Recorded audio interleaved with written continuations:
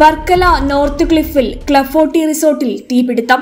Short സർക്യൂട്ടാണ് തീപിടുത്തത്തിന് കാരണമെന്നാണ് പ്രാഥമിക നിഗമനം. റിസോർട്ടിലെ മുകളിലത്തെ നിലയിലുള്ള രണ്ട് എ സി റൂമാണ് തീപിടുത്തത്തിൽ കത്തിനശിച്ചത്. A C glass aluminium panel bed T V ഉൾപ്പെടെയുള്ളവ കത്തിനശിച്ചു.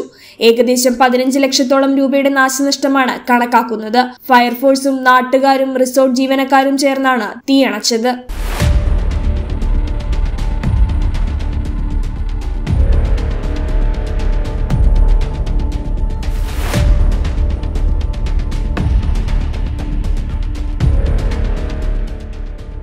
H news Varkala